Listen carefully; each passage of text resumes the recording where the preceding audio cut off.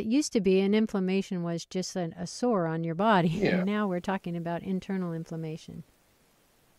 Yeah, I think the key here is that, um, you know, it's not something you see, right? You see if you cut your finger, it gets red. If you twist your ankle, it gets inflamed and red. If you have a sore throat, it gets red. That's stuff we know. But we're talking about the hidden inflammation in your bloodstream that is the driver of almost every known chronic illness, from heart disease to cancer to diabetes to obesity to dementia. Even depression, even autism, ADD are all inflammatory diseases. So we have to understand why are we inflamed. Uh, sometimes it can be infections, sometimes it can be toxins, but more often than not, it's what we're eating. It's the quality of the food we're eating. We're eating an inflammatory diet of processed food. I mean, the average American, you know, consumes 60% of their diet as, you know, commodity processed foods.